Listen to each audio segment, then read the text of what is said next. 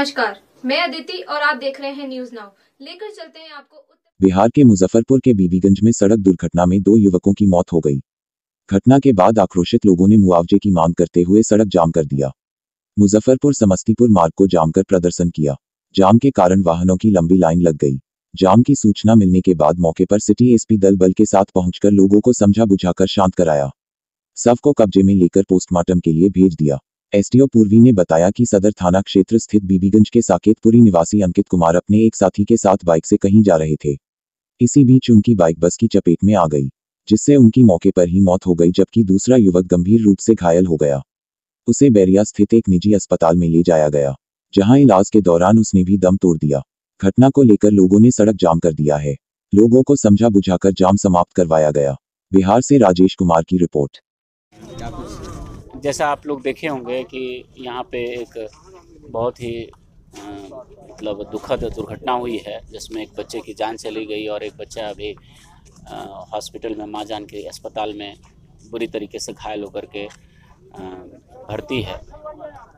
निश्चित रूप से ये दुर्घटना काफ़ी दुखदाई है और इसमें जो जो बातें सामने आई हैं, कुछ कट्स हैं जिसको कि हम लोग बंद करवाएँगे।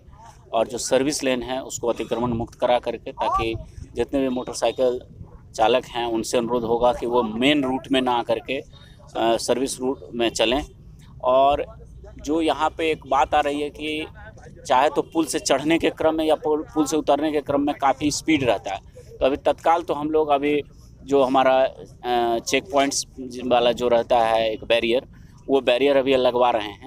उसके बाद हम लोग एन से बात करके रंबल स्ट्रिप भी यहाँ पे देंगे ताकि स्पीड यहाँ पे कंट्रोल रहे। मुआवजा वगैरह दी गई है जी ऑब्वियसली जो बिहार सरकार की ओर से सामूहिक दुर्घटना में जो मुआवजा दे होता है परिवार के सदस्यों को चार लाख रुपया मुआवजा दिया गया जो घटनाएँ घटी हैं उसका एक समेकित बात आया है सामने और उन सब का निदान किया जाएगा। जी क्या घटना हुई है बताइए। देखिए, साकेतपुरी मोहल्ला के एक 24 वर्षीय युवक का ई मतलब अतिक्रमण के कारण आए दिन घटना घट रहा है, उसी में उनकी दुर्घटना हो गई है। तीन चार घंटा से लाश अभी यहाँ पे रखा हुआ है।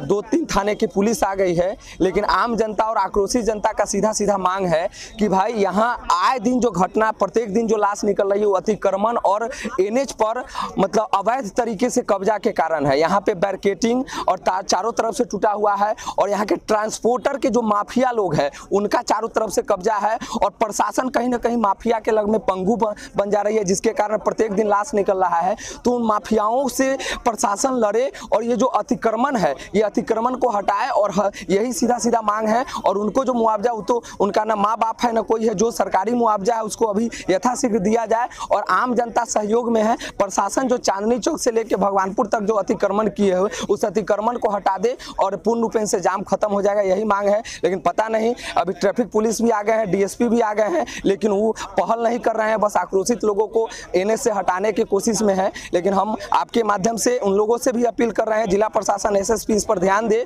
और जो अतिक्रमण है, गोबरसही से चांदनी चौक तक, इस अतिक्रमण को मुक्त कराने के लिए प्रशासन और ट्रैफ़िक पुलिस इस पर काम करे, यही हम लोगों का मांग है, और यही आक्रोशित जनता का भी मांग है। अनय राज, युवा शक्ति का राष्ट्रीय संयोजक।